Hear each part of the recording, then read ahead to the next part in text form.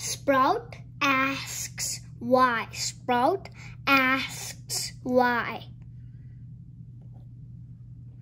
Sprout is staying, sitting. She looks at the birds. Why do birds fly? asks Sprout. Birds fly because they have wings, said V. Why do fish swim? asked Sprout.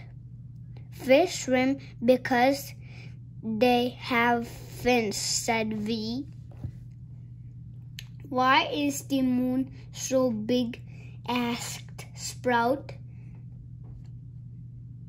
Did you ask why the moon is so big?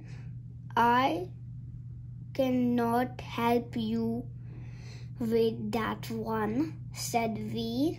I will go and get my book, Sprout said. Why, why do you need the book? asked V. Because the Sprout, my book can help look. V and Sprout look at the book.